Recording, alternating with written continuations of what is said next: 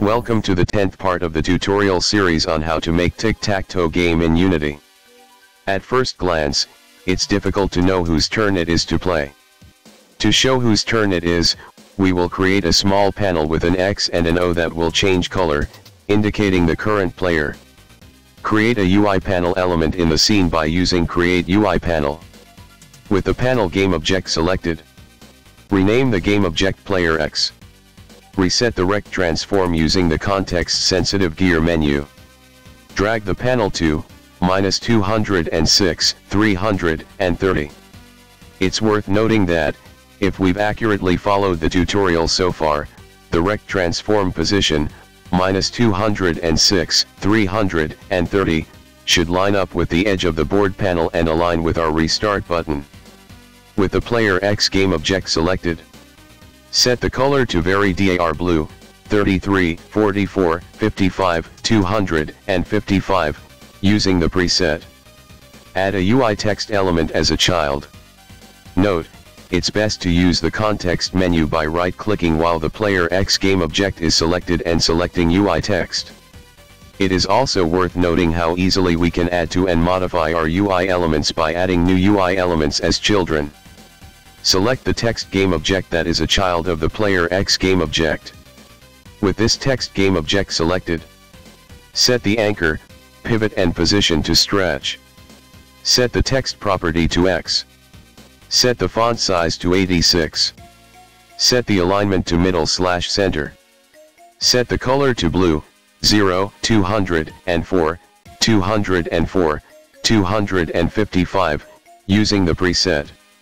Duplicate the player X game object. Select the player X, 1, game object and rename it player O. With the player O game object selected, change the rect transform position X to 206, not minus 206. Set the text property to O. We are setting both of the player panels to the same dark color scheme with a dark blue background and blue text as we will modify the current active panel to a new, brighter color scheme in code. At this point, X is the default starting side. We could have set the player panel for X to the brighter color scheme to start with, but we will see further on in this lesson that this could limit our possibilities, especially if we let the player choose their starting side. To make things easier on ourselves, at this stage it might be best to describe the player display in a generic way that we can use in our game controller script. We can do this by creating a class that holds all of the relevant details for our player display. This player class will hold the definition of the player icon panel, including the background and text. Open the game controller script for editing. At the top of the script, under the namespace definitions but before the game controller class definition. Create a new public class called player. In player, Define a new public image variable called panel. Define a new public text variable called text. Public class player public image panel, public text text. We will also need to alternate between an active color scheme and an inactive color scheme. These could be set up directly in the game controller script, but, as we have done with the player class, it might be tidier to define our color schemes in a similar way by creating a player color class. At the top of the script, under the namespace definitions but before the game controller class definition. Create a new public class called player color. In player color, define a new public color variable called panel color. Define a new public color variable called text color. Public class player color public color panel color, public color text color. At this point these two classes will not be visible in the inspector window even if we include an instance of them in our script. We will need these visible in the inspector so we can set their properties in an easy manner. For these two classes to be visible in the inspector, they need to be serialized by Unity. We can serialize these classes by using the system.serializable attribute.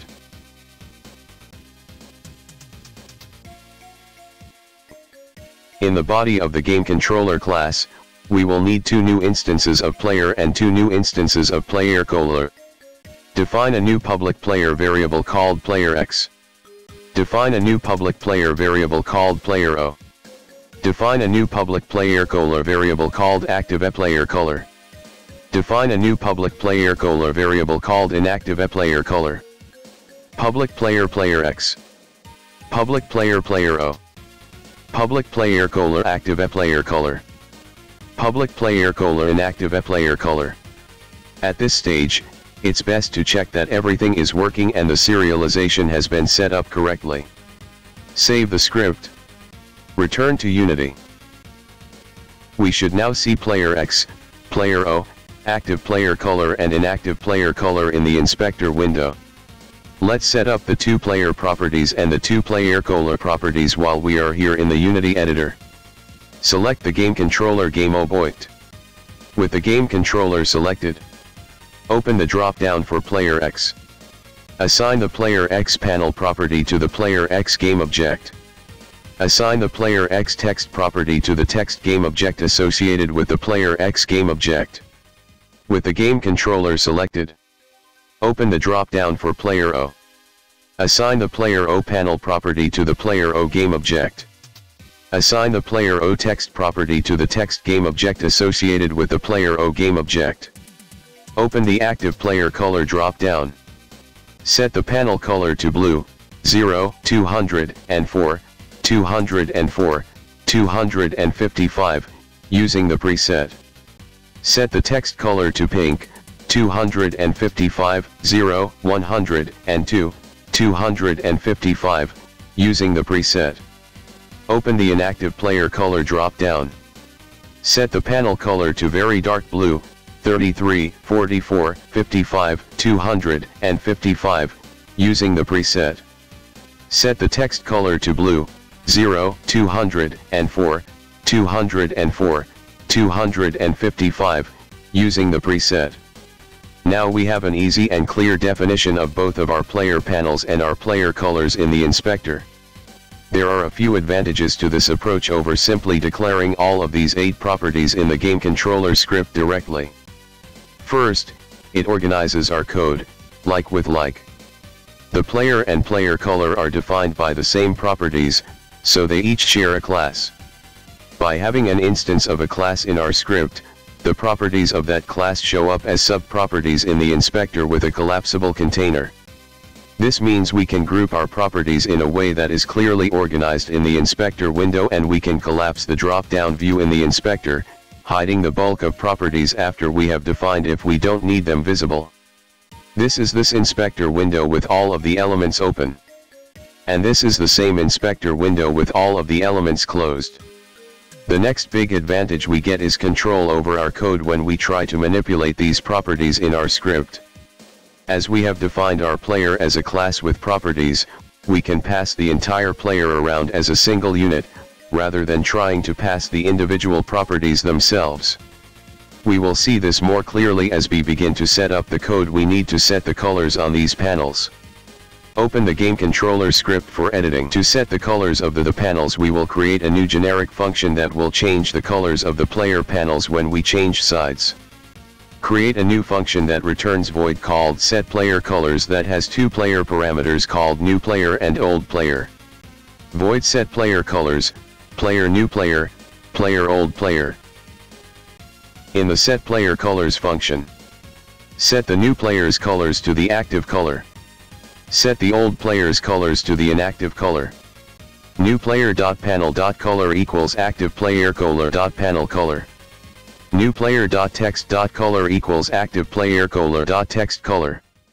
Old player.panel.color equals inactive player color panel color. Old player.text.color equals inactive player color.text color. It is worth noting here that we are sending the entire player definition to set player color as an argument and then assigning values to the sub-properties based on the player passed to the function. If we had not defined the player and player color in their own classes, we would have had more complicated code.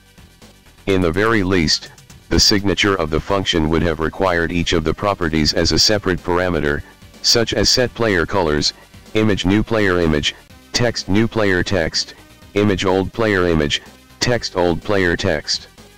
Our current style is much more efficient and far easier to read and understand. This is the generic functional code that will set the colors on the player panels. It simply assigns colors to the players in the order we send them. It will need to be called every time we change sides. To do that, we will need to add code to the function change sides that will send the new player and the old player to set player color depending upon whose turn it is, where if the player side is X we send player X and player O in that order, or else we send player O and player X. This is because if, in change sides, our player side is X, then player X is the new player and O is the old player, and vice versa. In the change sides function, add an if-else statement, where the logic checks if player side is X. If, player side equals equals X. Else. In the change sides function. When the if is true, call set player colors with player X as the new player. Set player colors, player X, player O. In the change sides function. When the if is false, in the else block, call set player colors with player O as the new player. Set player colors, player O, player X. We now need to set the color scheme for the starting side to the active E player color. At this point, X is the starting side by default, so we can simply set the player panel for X as the new player. In awake, add a call to set player colors with player X as the new player. Set player colors, player X, player O. Lastly, when we restart the, the game, we want to set X to have the active player color. In restart game, add a call to set player colors with player X as the new player. Set player colors, player X, player O. Save the script. Return to Unity. Enter play mode. Test by clicking any of the spaces. When we enter play mode, we should see the X panel highlight with the bright color scheme indicating that X is the current player.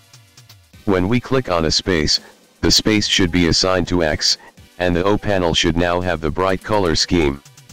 When a game is complete, either a win or a draw, the restart button should appear. There is a little glitch, however. Dare we say a bug? When one player wins, the other side's panel gets highlighted. Even though X wins, the O panel is highlighted. This is a small issue, but, as we discussed earlier, we are in the Polish phase for this project and we need everything as perfect as possible. Why is this happening?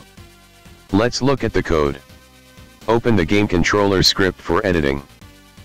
If we look at the end turn function, we will see that all of the code is being executed every time the function is being called. What's happening here is that after incrementing the move count, the function is checking every if statement and then at the end of the function, the function is calling change sides. We only want to call change sides if the, the game is not over, not every time we end a turn. One of the simplest solutions to this issue is to change these individual if statements into a single series of if slash else ifs. This way we won't have to check every line of code if one of the earlier lines tests true. This also means we can leave the last line of code as a simple else, so we will only call change sides if there is no win nor a draw. In end turn, leave the first if unchanged. Change all of the remaining ifs to else if, including the test on move count. Before change sides, add an else. With this logic, we check all of the possible win conditions. If one of the win conditions tests true, we call game over and get R of the if-else logic. If none of the win conditional prove true, including a draw, we then change sides.